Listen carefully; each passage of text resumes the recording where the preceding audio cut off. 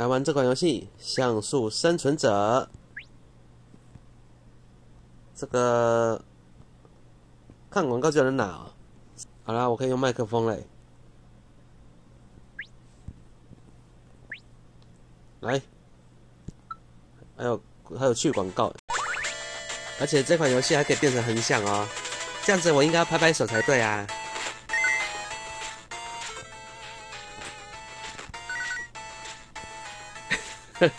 一开始就能开自动哎，有在我心目中有加分。一开始开了自动，然后一开始手机是直向，又可以变成横向，可以自由转换。哦，这个也可以加分啦。那你可以到选项那边去进行调整。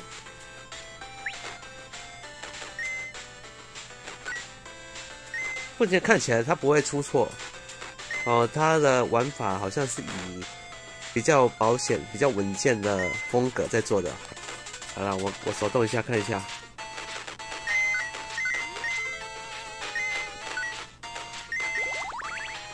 斧头。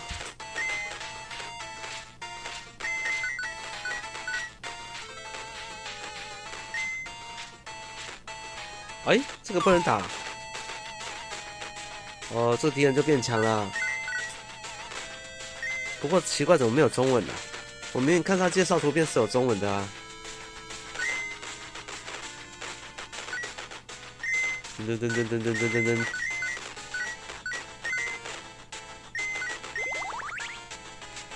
好，我我现在开始有这个鞭子啦，开自动，我们看它怎么编。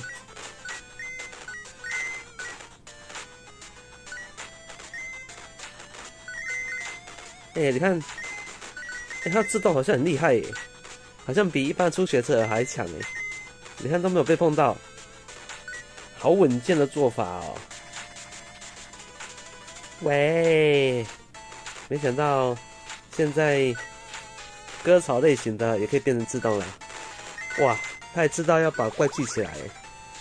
那如果刚好去打喷嚏，你看它这个不能选了。好啦，我们选这个吧，扩大。但它不能自动帮你选择，所以就算开了自动，呃，你手机还是要放着看的，看一下，选个技能之类的。这个应应该就是来迎合，如果你在上课的时候偷偷玩，你偷偷玩的时候啊，还可以开自动。那老师在那边怀疑的时候，你可以坚称说我没有打电动，是不是？你看他到现在我都没有神血。我都没有出现个失误诶，这自动还算是可以的，不过目前这样玩下来节奏有点太慢了。如果你输出够高，好像也不需要了。输出够高，就手动吧，因为你撸敌人之前呢，你也不用闪了。不行，要闪，开自动。遇到这种这样的敌人，自动会死会死亡吗？应该不会吧？不会，你看。哦，这个 AI 还很聪明哦，可以哦。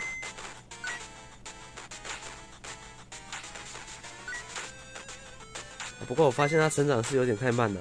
好啦，已经打了六分多钟了，在这期间我只是帮他按一些技能啊，他还是会喷血啊，他现在已经快不行了。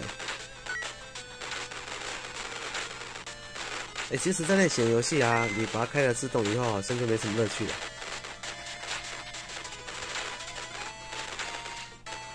打不太动了，这已经不叫割草了，好不好？草割不起来呀！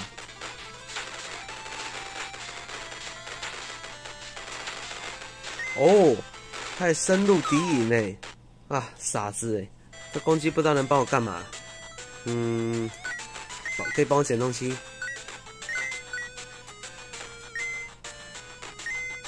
那就让他再打一阵子吧。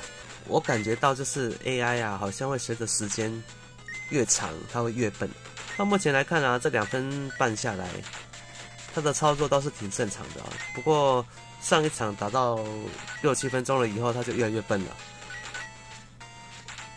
你看啊，它被包围了啊，但是它还是游刃有余。你看，它都没有被打到哦。到目前为止都还是挺正常的。我今天就要把这个秘辛给挖出来。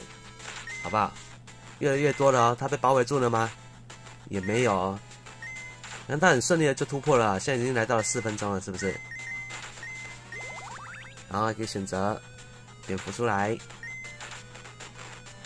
啊，到这目前为止，我们就先继续挂着吧。哎，五分四十秒。上一场是六分钟以后，他会变天兵，对不对？他现在已经变天兵了。你看他明明可以闪的，他就坚持不闪。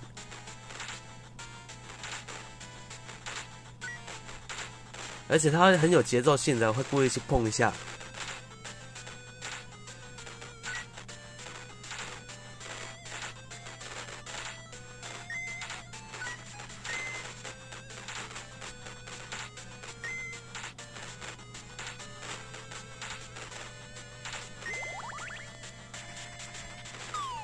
又去碰了，又去碰了。你看，他很故意。你看，喂，原来 AI 原来是那么聪明哦。哎，他假装哎，然后假装不会玩哎。你看，又跑进去撞了。哎呦，好了，本集影片玩到这里，大家拜拜。